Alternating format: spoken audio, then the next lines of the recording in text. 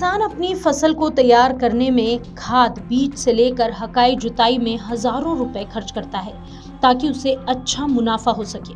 मगर कई बार ऐसी परिस्थितियाँ बनती है कि फ़सल कटाई के बाद किसान को लगाई गई लागत निकालना भी मुश्किल हो जाता है।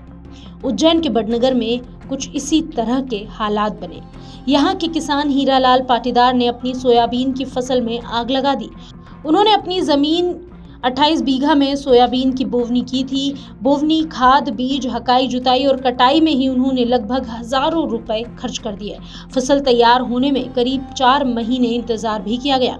मगर जब कटाई की बारी आई तो सोयाबीन की पैदावार लागत से भी कम हुई, जबकि उपज निकलवाने में थ्रेशर और मजदूरों का खर्चा अलग से हो गया। इस बात से दुखी होकर किसान ने अपनी सोयाबीन फ़सल में आग लगा दी। बडनगर तहसील के गाँव अजड़ावदा के किसान हीरालाल पाटीदार ने 28 बीघा खेत में आर वी एस एम एक वैरायटी की सोयाबीन लगाई थी। चौदह बीघा की सोयाबीन फ़सल को मजदूरों से कटवाकर ढेर लगा दिया था तथा चौदह बीघा में फ़सल खड़ी थी। प्राकृतिक आपदा के कारण किसान की किस्मत ने उसका साथ नहीं दिया। जब थ्रेशर मशीन से सोयाबीन निकालना शुरू किया तो उत्पादन देख किसान के होश उड़ गए। उसने अपने हाथों से ही अपनी खून, पसीने और मेहनत वाली चौदह बीघा की सोयाबीन फ़सल के ढेर को आग के हवाले कर दिया। हीरालाल पाटीदार ने बताया कि सोयाबीन फ़सल में काफ़ी नुकसान हुआ है। फ़सल खराब होने से मेरा खर्चा भी नहीं निकल पा रहा। केवल 20 से 25 किलो सोयाबीन एक बीघा में निकली, जिसमें सोयाबीन निकालने वाली मशीन का खर्चा भी नहीं निकल पा रहा। इस कारण 14 बीघा खेत की सोयाबीन फ़सल को मैंने आग लगा दी।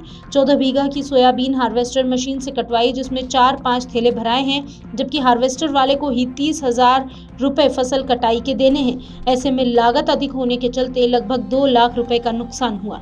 बीमा कंपनी और कृषि अधिकारी आदि के बारे में कहना था कि सभी लोग आकर फ़सल देख कर गए हैं।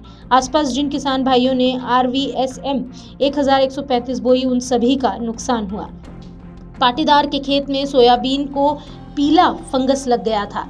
बाद में ज़्यादा बारिश के कारण सोयाबीन खराब हो गई। मौका मुआयना कर फ़सल के बारे में वरिष्ठ अधिकारियों को रिपोर्ट सौंप दी है। सोयाबीन जलाने की जानकारी भी तहसील को दे दी है।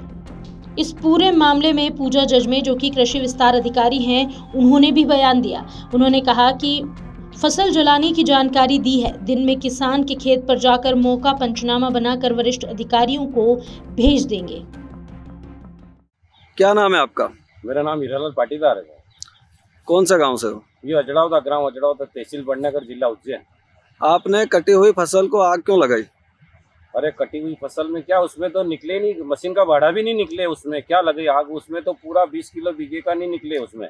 वो फिर मशीन वाले कोई निकालने को तैयार ही नहीं है। फिर मैंने कहा यार क्या करे इसमें? फिर अठवा उससे तो मैंने आग लगा दी पूरी। कौन से थे फ़सल? वो सब ग्यारह पैंतीस ही थी पंद्रह सोलह बीघे की वो थी ये पंद्रह बीघे की आपके सामने कटवा रहा हूँ। सोयाबीन की। सोयाबीन की पूरी इसमें भी देखो ये क्या है पूरा कचरा ही है वो अभी हाईवे से निकलेगा देखो पूरी घूमरी ने खर्चा करा था। वो हाँ। खर्चा भी नहीं निकले और मशीन वाले को और घर से दो तो फिर उन्हें आग लगा दी पूरी।